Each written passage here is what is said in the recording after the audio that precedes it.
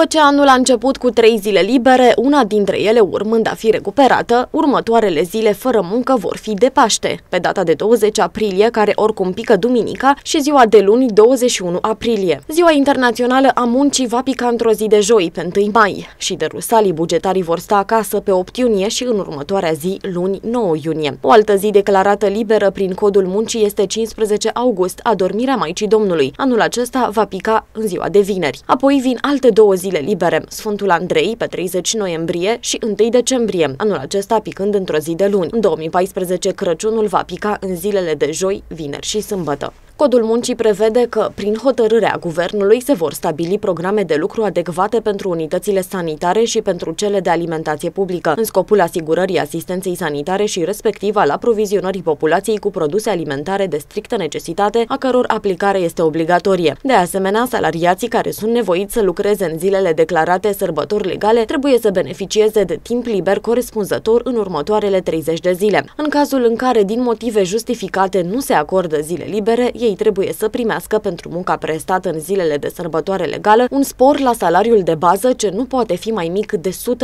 din salariul de bază corespunzător muncii prestate în programul normal de lucru.